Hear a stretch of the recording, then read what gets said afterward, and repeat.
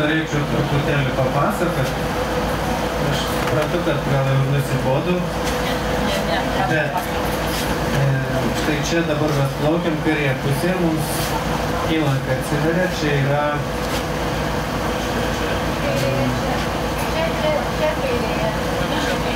Neužstosi kažkaip iš Tai įdomi įlanka.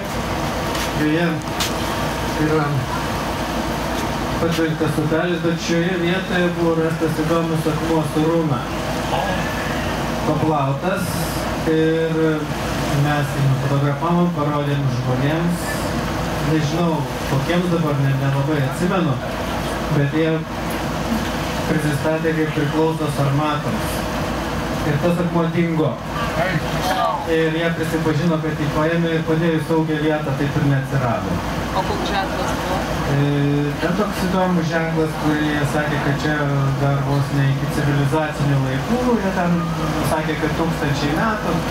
Tai yra? Nuotrauka likusi, bet e, iš tos nuotraukos irgi sunku kažką pasakyti. Kai kas sako, kad ten tiesiog yra e, antis, kaip ten pavadinti, tai kas padirbtas ar dar kažkas.